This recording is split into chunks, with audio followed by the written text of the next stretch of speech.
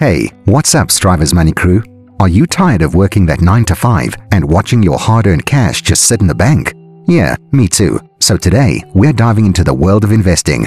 No, not just dabbling, but actually learning how to invest like a pro. Stay tuned, because we're about to reveal some secret investing tips that'll have you living the life of your dreams in no time. But before we start rolling in the dough, you know the drill. Hit that like button and subscribe to Striverz Money for more videos that'll help you build wealth and achieve financial freedom. Alright, let's dive in. Number 1. The basics of investing. First things first, let's cover some basic investing principles. This might be common knowledge for some of you, but hey, we've all got to start somewhere, right?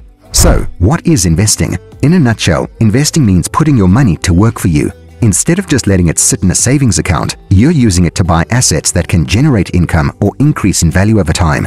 There are various types of investments, such as stocks, bonds, mutual funds, real estate, and even cryptocurrencies. But don't worry, we'll touch on each of these later on. Now, let's talk about risk. All investments come with some level of risk, and generally, higher potential returns come with higher risks. So it's essential to strike a balance between risk and reward based on your individual tolerance and financial goals. Number 2. Establishing your investment goals and strategy. Now that we've covered the basics, it's time to figure out what you want to achieve with your investments. Are you saving for retirement? building an emergency fund, or funding that extravagant world tour you've always dreamed of. It's crucial to set clear and realistic goals before jumping in. Once you've got your goals in mind, it's time to develop a strategy. One popular approach is called dollar cost averaging, where you invest a fixed amount of money at regular intervals, regardless of market conditions. This way, you'll be buying more shares when prices are low and fewer shares when prices are high, potentially reducing the overall risk. Another essential aspect of investing is diversification, spreading your money across various types of investments to minimize risk. Remember the old saying, don't put all your eggs in one basket? Yeah, that applies here too. Number 3. Choosing your investments.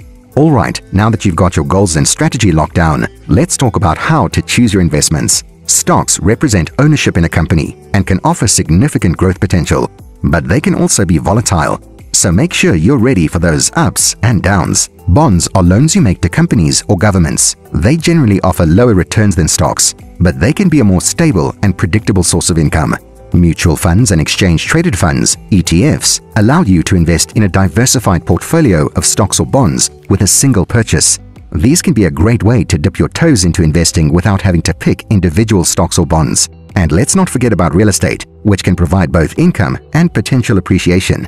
Investing in real estate can be done through buying physical properties or investing in real estate investment funds, REITs, which are like mutual funds for real estate. Finally, there are alternative investments like cryptocurrencies, which can be a high-risk, high-reward option. If you're interested in this, make sure to do your research and only invest what you're willing to lose.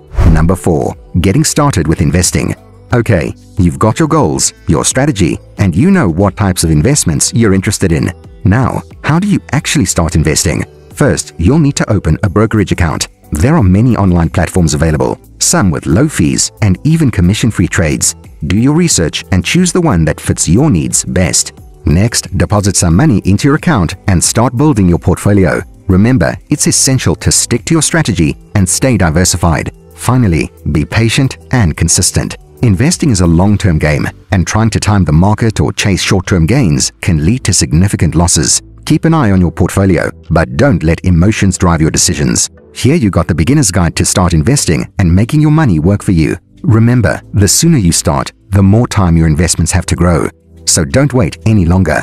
Now, it's time to take action and check out the related links in the description and make sure you watch our other videos on making money and achieving financial freedom. Thanks for watching and keep striving.